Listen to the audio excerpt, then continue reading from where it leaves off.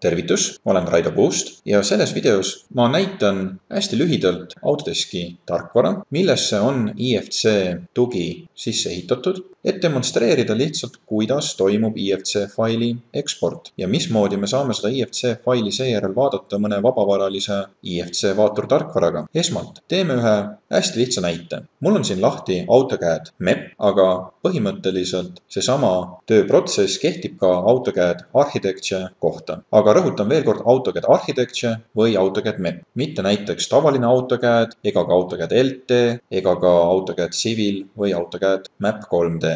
AutoCAD MEP tarkvaras ma olen teinud sisuliselt AutoCAD-i 3D töövahenditega ühe kuubiku. ma panen sellele kuubikule ka võib-olla teistsuguse visuaalse esituse. sellel kuubikul on loomulikult maht nii et ta on 3D objekt ja oletame, et ma soovin nüüd seda konverteerida IFC formaati selleks, et seda faili jagada mõne teise osapoolega ja seda siis mitte enam DVG formaadis, mis on AutoCAD-i põhiformaat, aga just nimelt IFC failina. IFC faili ekspordiks on AutoCAD Architecture ja AutoCAD MEP tarkvaras olemas käsk IFC export. kui ma käsurealisele sisse löön, kuvatakse mulle dialoog export to IFC ja siin ma pean andma lihtsalt näiteks projektile numbri, projekti nime ja seejärel valima ka asukoha, kuhu ma soovin seda faili salvestada. ma näen, et vaikimisi pakutakse mulle sedasama faili nime, mis ka DVG failil. seejärel ma näen files of type, et ma saan siit valida lisaks IFC-le ka IFC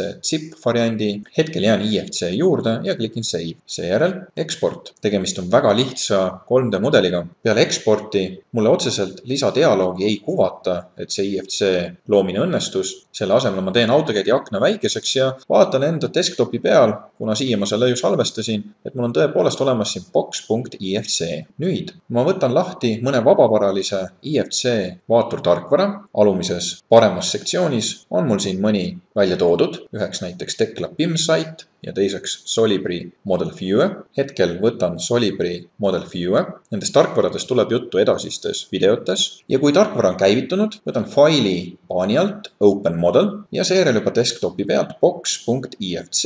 ma näen, et see tarkvara toetab erinevaid IFC formaate, sealhulgas ka IFC zip. klikin Open ja seejärel on minu kuubik nüüd juba vaaturtarkvaras sees. IFC formaadi pluss on ka see, et ma saan valida neid objekte ja seejärel näen ka lisainfot selle objekti kohta, ehk siis näiteks selle parameetreid, erinevaid väärtuseid, muuhulgas ka mahtu, milleks on hetkel sada kakskümmend viis kuupmeetrit. see, kuidas nüüd nendes erinevates vaaturtarkvarades toimetada, sellest veel kord edasistes videotes. antud näide käsitles veel kord AutoCAD MEP või AutoCAD Architecture tarkvarast IFC faili loomist, nii nagu see on toetatud kaks tuhat neliteist versioonis